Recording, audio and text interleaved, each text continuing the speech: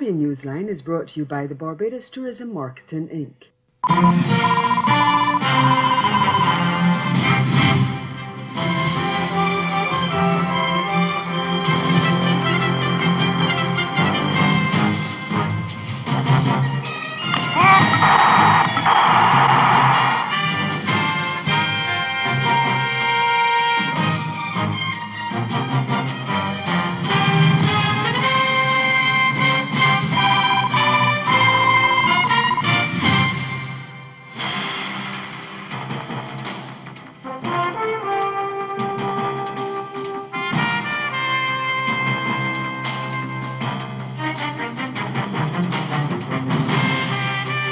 Trinidad and Tobago advised to turn U.S. and U.K. crime-fighting agencies for help as murders continue to rise.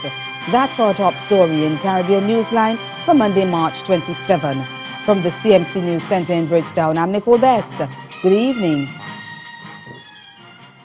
The man who Trinidad and Tobago government has turned to to help it bring the death penalty is advising the administration to seek the assistance of the U.S. Federal Bureau of Investigations, the FBI, and Britain's Scotland Yard. There have been more than 100 murders so far this year, and former AG Ramesh Lawrence Maharaj says it appears there has been a complete breakdown in advanced strategic planning to combat crime in the country. He believes government must take action now, starting with the creation of an investigative team of police who have been vetted by reliable intelligence intelligence to start solving the murders and serious crimes for this year. That can be a starting point on which the police can build. The government should immediately make efforts to obtain the help of the FBI and the Scotland Yard investigating team to work with this fully dedicated team of police officers to detect the 2017 murders and serious crimes. This, in my view, would send a signal to the criminal elements that they would be caught if they commit murders and serious crimes. After the start of getting the results for the 2017 murders and, and um, serious crimes, there can be a continuation of the efforts to detect the murders and serious crimes which occurred in the previous years. But the former AG also warned that if the institutions involved in the fight against crime are not properly resourced, then any plan which the government may have to fight crime is doomed to fail. Maharaj said it was also important for the authorities to establish the DNA Bank, which has not been implemented despite legislation being passed since 2000. He said, and I quote, the time has come for the population to see and to feel that the government is declaring a war against the criminal elements and that it has taken steps to ensure that those who commit the murders and serious crimes will be caught. End of quote. Jamaica's Prime Minister Andrew Holness says the CARICOM agenda is not dead. It just needs some new blood. He made the comments as he addressed the post-convention rally of Grenada's ruling New National Party on Sunday. Holness said despite questions about its relevance, CARICOM is vital to enhancing regional integration. Like everything else, sometimes it may lose some steam. Sometimes its relevance may be called into question. But when I stand here and I look down into the crowd, I could very well be in Jamaica or in St. Vincent or in St. Kitts or anywhere else. Because though we are separated by the, the, the waters of the Caribbean Sea, we are one people. The Jamaican leader told the crowd of NNP supporters that the time is right for a new generation of leaders to push the integration agenda forward. And a new generation of leadership must emerge with a new vision as to how to strengthen CARICOM so that it can serve the people. So that you can travel from Jamaica to Grenada directly without having to go to Miami to get here. Transportation within the CARICOM region is a big issue. And the next generation of CARICOM leaders need to spend some time to figure out how we're going to truly look at an economic integration that is underpinned by how we can move around the region. Meantime, Holness has praised the fiscal discipline of the people and government of Grenada in executing their homegrown structural adjustment program. He said reducing Grenada's debt to GDP ratio from 108% to 75% in three years is a feat that must be commended.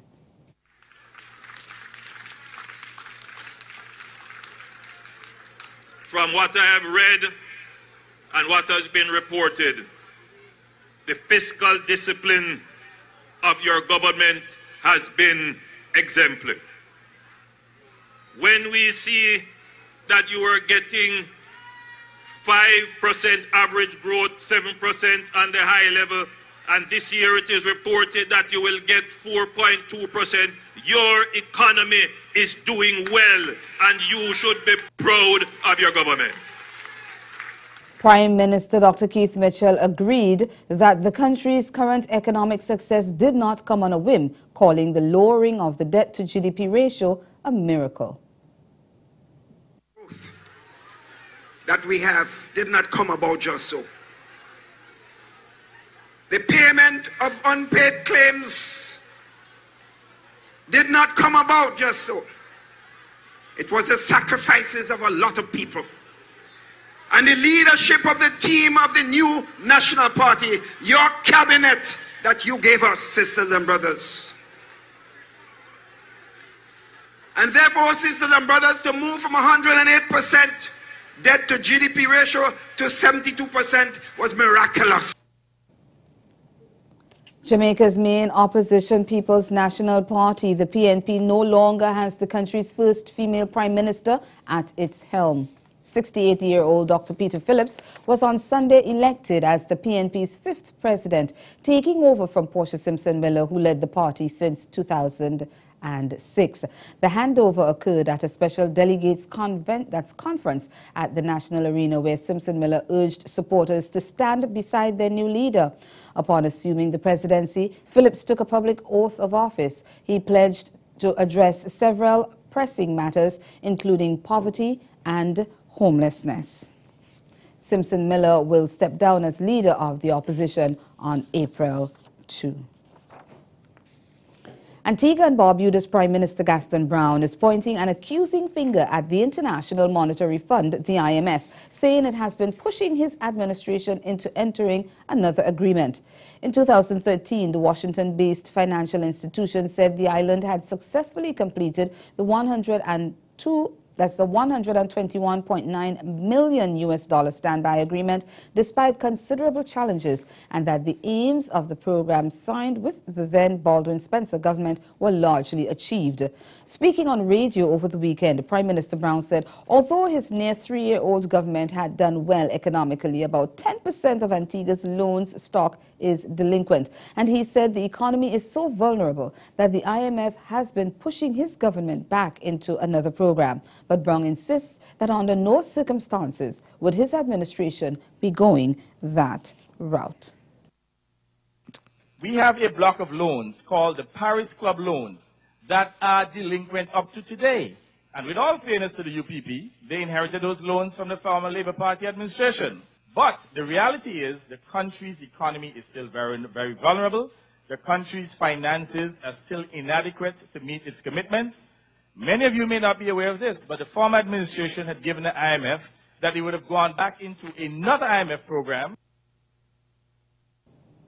Coming up in Caribbean Newsline, the region says its final goodbye to late Nobel laureate Sir Derek Walcott. That story and more after the break. Stay with us edition of Antigua Sailing Week. Not a sailor, not a problem. Chase the race from the best beach locations and party in the ocean. On our beaches, a different one each day.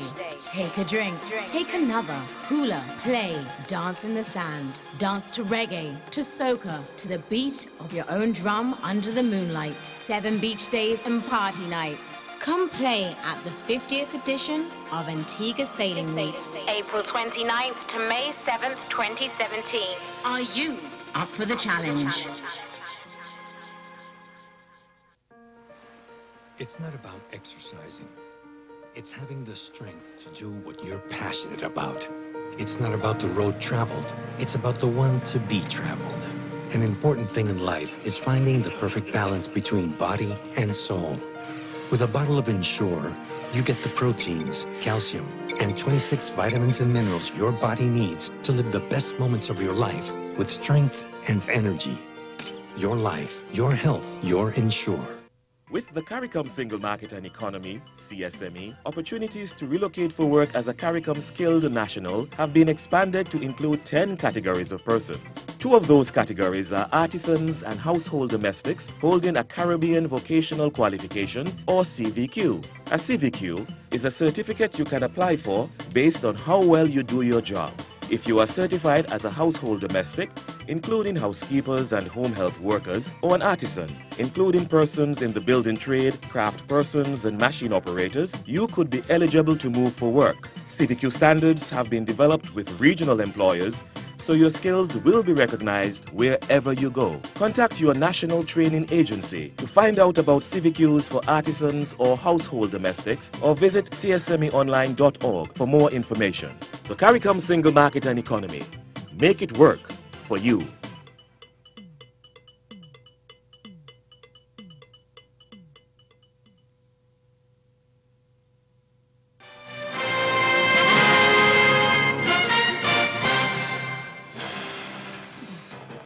St. Lucian Nobel laureate Derek Walcott went to his final resting place amid unwavering praise and admiration of his talent, influence and work as mourners bade farewell during a state funeral service at the Minor Basilica Cathedral in Castries, St. Lucia on Saturday. The Nobel laureate, who died on March 17 at the age of 87, was eulogized during the just over two-hour state funeral service as a man who gave Caribbean people an opportunity to have dreams and have visions. Delivering the eulogy, his longtime friend, Professor Emeritus Edward Baugh, remembered the late poet as unassuming, generous, never one to blow his own trumpet, considerate of others, a kind, loving and responsible father and a doting grandfather. He said Sir Derek helped the Caribbean articulate its engagement with history and with the colonial legacy, and he gave a voice to Caribbean people. We mourn and we celebrate a genius who was a prodigy, a maker, a Caribbean man who has made us and the world see more clearly Caribbean landscape, Caribbean light. But we also mourn and celebrate a person, someone with the virtues and the shortcomings that defined him as the person whom those who knew him valued. Governor General Dame Pearlette Louisy and Prime Minister Allen Chastanet led the local and international dignitaries at the funeral. Walcott, who is survived by his three children, Peter, Elizabeth and Anna, was buried at Morne Fortune. Police in Dominica have denied the main opposition United Workers' Party, the UWP, permission to stage a march in the capital on Thursday. In a March 24 letter to the UWP, Public Relations Officer Nicholas George Police Commissioner Daniel Carbon said the denial was for public safety and national security reasons.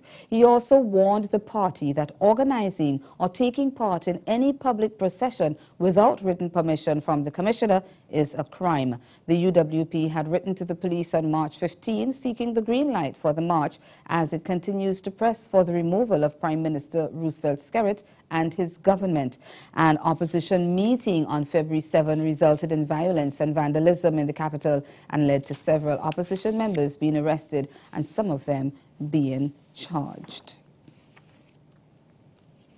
A general strike and widespread protest over high crime and economic hardship have paralyzed French Guiana. Hundreds of people have taken part in protests blocking roads to neighboring Brazil and Suriname, prompting the U.S. government to issue a travel warning for the French territory in South America. The unrest has shuttered schools and blocked access to the main airport. The collective of 500 brothers, the group largely behind the unrest, is demanding that the French government send a minister to negotiate with them. The French Minister Bernard announced on Monday that a delegation of ministers would travel to the South American territory by the end of the week to try to address demands by protesters who have refused to negotiate with lower level officials. We get more in this special report from our partners at France Caraïbes Broadcast. These images were made by residents in the neighborhood of Cayenne. You can see a group of people attacking a car passing by. The assailants expelling the driver of the vehicle, which backs down by force. This incident is only one of many examples of what happened during the night in Cayenne. Several parts of the population have been involved in revolt movements. Many young people, aged between 10 and 20, according to the police, have ransacked and destroyed throughout the night. In a press conference, the prefect returned to the situation. How is it that the parents didn't pay attention to what the children were doing? Then, of course, there is a work of repression, of public order, which is ours. But I would like everyone to see also what the children do.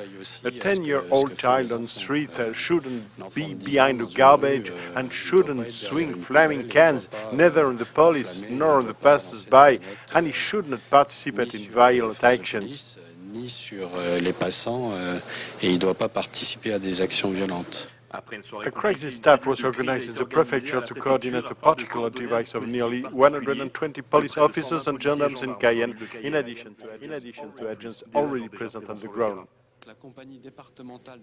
The departmental intervention company that usually serves us security is fully mobilized on these roadblocks and on the maintenance of order. The main difficulties at night was the China's quarter.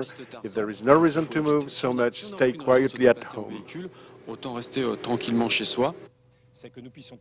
In 2008, we were in front of a government that was at the beginning of its mandate. Today, we are faced with a government that is at the end of its mandate. So, I want to say to the population that the fight we are leading is an endurance race. So we must arm ourselves with passions so that the mobilization can continue.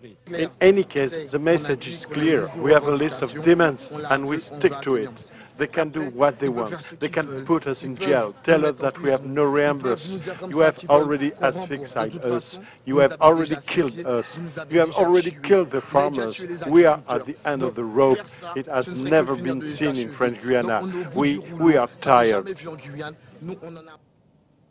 We thank our partners over at France Caraïbes Broadcast for that report, and we encourage you to join us every Monday for news from the French West Indies.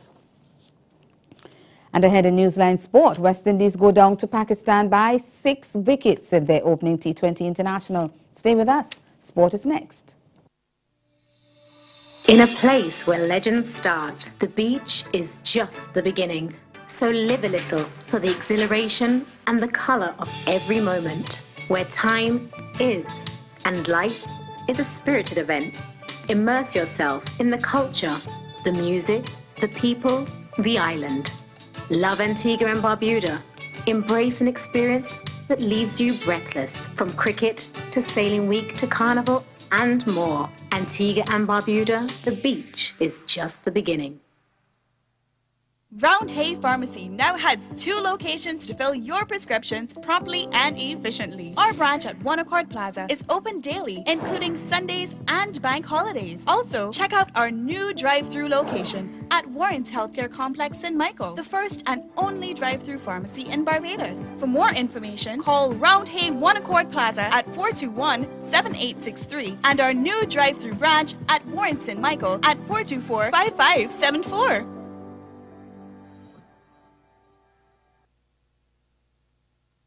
Barbados, renowned for its pristine beachfront and fantastic weather, continues to leave quite an impression on newcomers to the island and returning visitors. The Caribbean island, quite popular as a vacation hotspot, is not only beautiful due to its natural aesthetics, the island of Barbados continues to grow in popularity because of unique connections developed with our people, our culture, we can't wait to welcome you.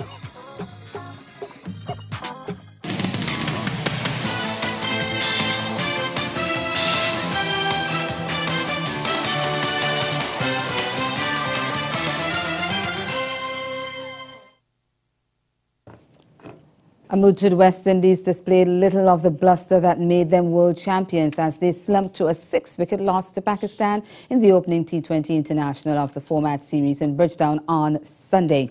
West Indies struggled to get going and could only muster a paltry 111 for 8 off their 20 overs at Kensington Oval.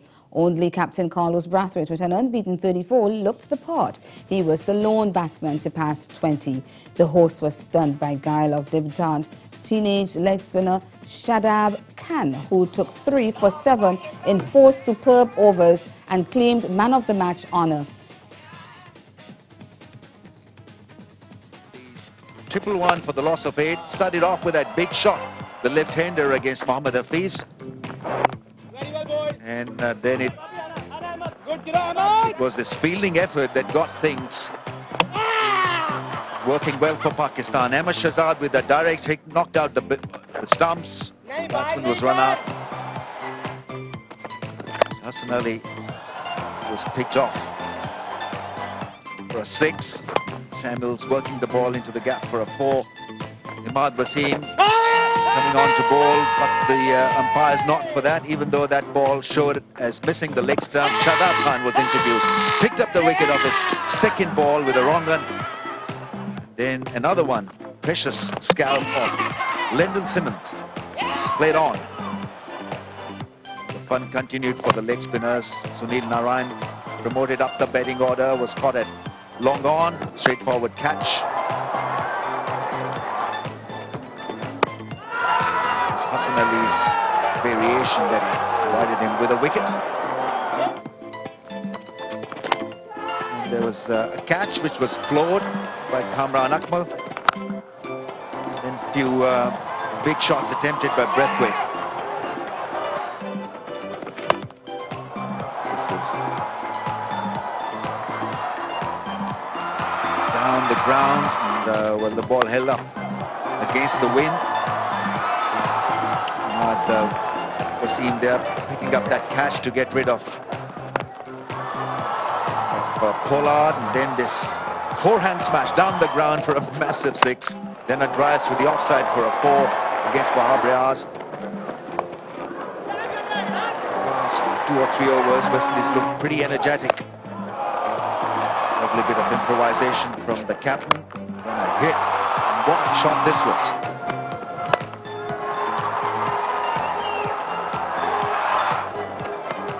Concentration from Hassan Ali, lost that one, but in the end it was a issue. And in reply, Pakistan never really looked in danger and overcame a few early hiccups to reach their target in the 18th over, with the ever-dependable Shoaib Malik taking the visitors over the line with an unbeaten 38 off 29 balls. Babar Azam, who shot to prominence with a string of one-day hundreds against West Indies last year, made 29, while shotgun Kamran Akmal struck 22. Seamer Jason Holder was the best bowler with 2 for 27. He did early wickets didn't uh, start that way with the run starting to flow. Ahmed Shahzad finding the boundary and Rovman Powell almost doing himself an injury, failing in the hurdles attempt. Then with the boundary starting to come, the feeling would have been that Pakistan would have romped home. So Narine short and wide, rare for him, and then a dismissive stroke from Ahmed Shahzad before the bowler got his own back outside edge, simple catch to the wicketkeeper. The West Indies fans getting something to smile about. The same over though, Babar Azam going with the boundary. The, the target too little for the West Indies to allow these luxuries. This was miscued into the hands field, a deep wicket, and then another wicket. And it was at this point when Carlos Brathwaite took the catch, despite the collision with the keeper, that the West Indies would have felt they had a chance, but that quickly evaporated. Shoaib Malik, so very experienced in any conditions, in any circumstances, and Babar Azam taking their team closer and closer to the target. By this point, it was just a matter of when, not if, but at least Holder got the satisfaction of a second wicket. Malik depositing this high up into the 3W stand and finishing off with a trademark boundary that any of Weekes, Worrell or Walcott would have been proud with. Over to football, MLS star Kevin Molino scored the only goal as Trinidad and Tobago revived their 2018 World Cup dream with a 1-0 victory over Panama in their all-important CONCACAF final round qualifier in Port of Spain on Friday night. TV6's Sergio Dufour was at the Hasely Crawford Stadium and files this report. Kenwyne Jones walked out with the captain's armband hoping to get the Trinidad and Tobago on track towards the qualification for the World Cup and the TNT came out with purpose. They enjoyed the better of the early exchanges with Joevin Jones and Kevin Molino looking impressive up front. Panama had some chances as well, but they never seemed threatening enough to Jan-Michael Williams in goal. This was until the 37th minute when Kevin Molino collected and had enough time and space to fire past the keeper. 1-0 in favor of the home team and the fans couldn't control their excitement. Williams pulled off a few good saves thereafter as TNT looked to be taking control of the game in the first half. On the resumption, Panama played with greater intensity. Still though, Jones was an imposing figure up front. He had a few cracks at goal as well before Dennis Lawrence made a couple substitutions. In particular, Jamille Boatswain came on for Kenwyne Jones to spark some life back into the TNT attack. However, the home team played deep into their half but defended well enough to see off the pressure applied by their opponents. They were also helped along with some poor finishing by Panama. In the end, though, TNT did enough to take three points from the match ahead of their next encounter against Mexico. Head coach Dennis Lawrence says Trinidad and Tobago's celebrations over the Panama victory will be short-lived as the side must now focus all their attention on Tuesday's massive clash against Mexico in Port of Spain. The hosts marked their first win of the campaign after losing their opening two games against Costa Rica and Honduras last November. But Lawrence warned his players that while they needed to enjoy the result and take confidence from it, Mexico will provide an even bigger challenge. We could enjoy it only for five minutes because the focus goes immediately onto Mexico. Um, we have to start preparing. We have to try and take advantage of the, the situation that we're in. The boys are on a high at the moment, but we need to start immediately, you know, focusing on Mexico. But in general tonight, I can't fault the boys for their effort. I thought they all worked very, very hard. They worked as a group, and they try to give um, they try to give the public something to say. Well, look, these boys are here fighting for the country. TNT came away from their match against Panama with an important three points. And that's the sport. Stay with us. We'll be right back. Caribbean Newsline is brought to you by the Barbados Tourism Marketing Inc. Awards for Excellence invites nominations for its next awards cycle in the categories Arts and Letters, Science and Technology, Public and Civic Contributions, and Entrepreneurship. Join the growing college of distinguished laureates from throughout the region we've honored in the last decade. Visit www.ansacaribbeanawards.com for forms and instructions. Nominations close on March 31st. Round Hay Pharmacy now has two locations to fill your prescriptions promptly and efficiently. Our branch at One Accord Plaza is open daily, including Sundays and bank holidays. Also, check out our new drive-through location at Warren's Healthcare Complex in Michael, the first and only drive-through pharmacy in Barbados. For more information, call Round Hay One Accord Plaza at 421-7863 and our new drive-through branch at Warren's in Michael at 424-5574.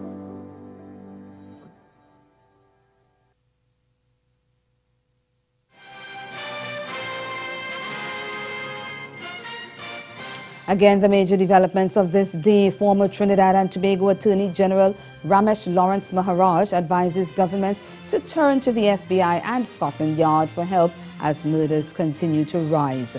And in sport, West Indies slumped to a six-wicket loss to Pakistan in the opening T20 International of the four-match series. That's Caribbean Newsline. For news and sport around the clock, log on to CarnaNews.com. We'll be back here again tomorrow. But from all of us at CMC News, thank you for watching and do have yourselves a good night.